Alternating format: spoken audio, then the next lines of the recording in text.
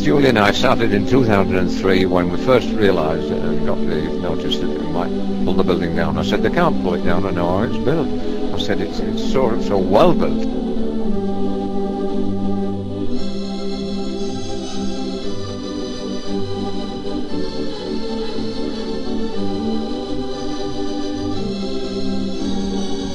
My wife Julie and I pioneered on our own, campaigned on our own in the early part. And we very quickly got another six people and there's seven of us. And so I'll tell, tell you all and I'll repeat it.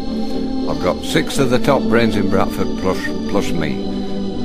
Why do you want to save this building behind us? Well, I'm trying to save it for the people of Bradford because they're behind me and uh, I'm just starting the campaign and getting it going to uh, speak on their behalf. And I think that there's a good viable use for the building. I think it could be put back into use. I happen to know how the building is put together. We don't want to lose the whole building, apart from the Italian Renaissance architecture that's worth looking at.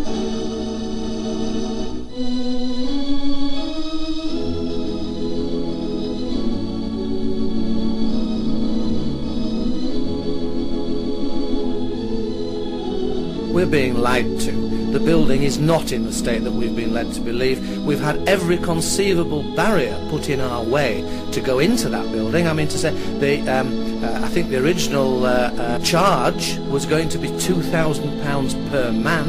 And when I said there'll be seven or eight of us that want to go in, uh, somebody took a deep breath and said, uh, you do realise it is £2,000 each? And I said, yes. She said, how many will there be of you? I said, seven or eight. We never heard a thing again.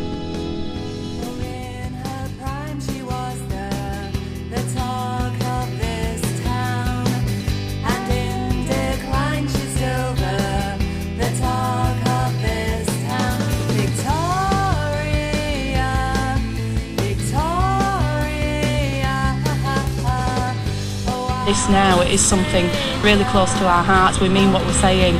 We want to get that message across to the people of Bradford to say, if you don't do anything, if you don't act now, this lovely building, she's going to be gone. Isn't it nice that some young people have come forward with this song, uh, showing what the uh, feeling of the people of Bradford that they have for this building, and it could be saved and it could be refurbished at a lot less money than a rebuild.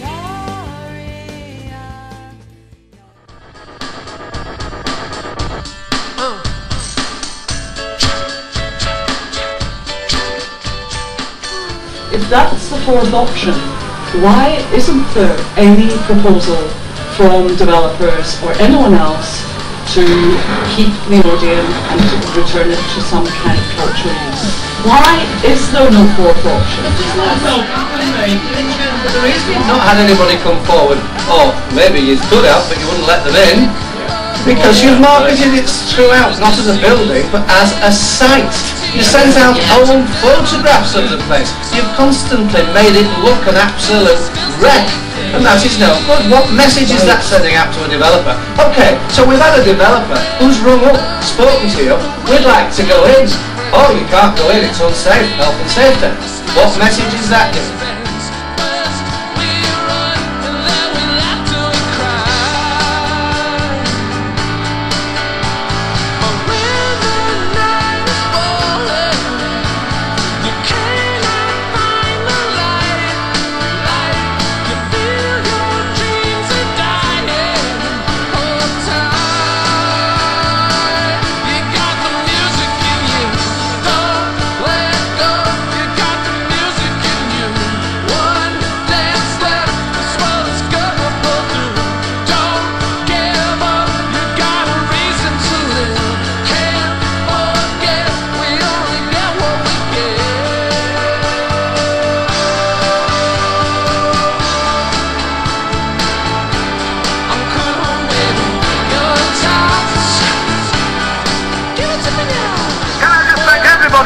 Bradford for coming here this lunchtime to support a glorious old friend.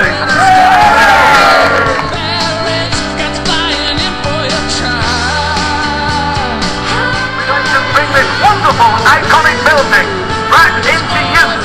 It will become the heart of Bradford. It is demolished, people have been sitting at home grumbling away as we have. It's time now to show the people who are in charge that we're in charge. We should say what should happen to this building. Still now, uh, uh, think we can save the Odeon and uh, we can show what people power can do. Our political masters have got to listen to this message today in Bradford.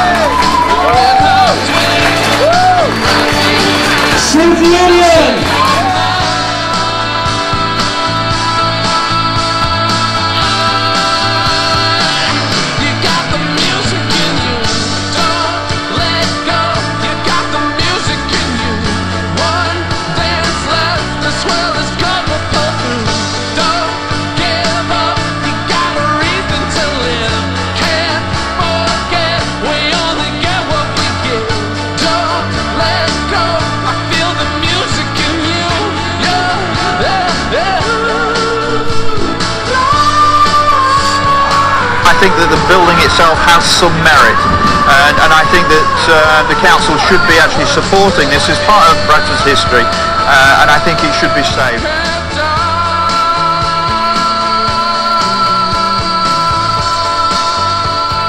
The amount of investment you would have to put into that building to make it work as a theatre. If there's anybody out there that wants to do that, I'll get Yorkshire Forwards Board to sell them the building straight away.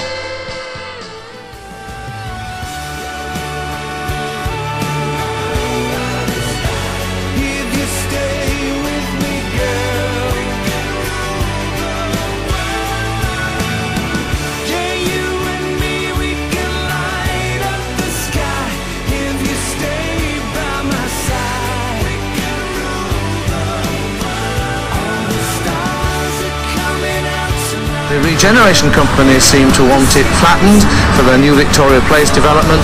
The heart of Bradford, uh, the people of Bradford, uh, I would say the majority want it retained and refurbished.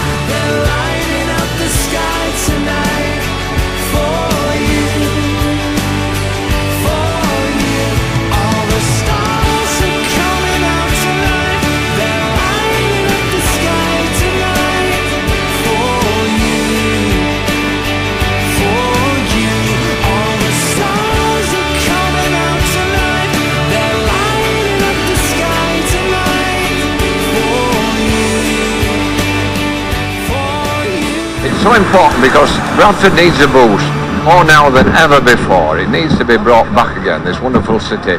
And it needs something for the people of Bradford, something for the young people.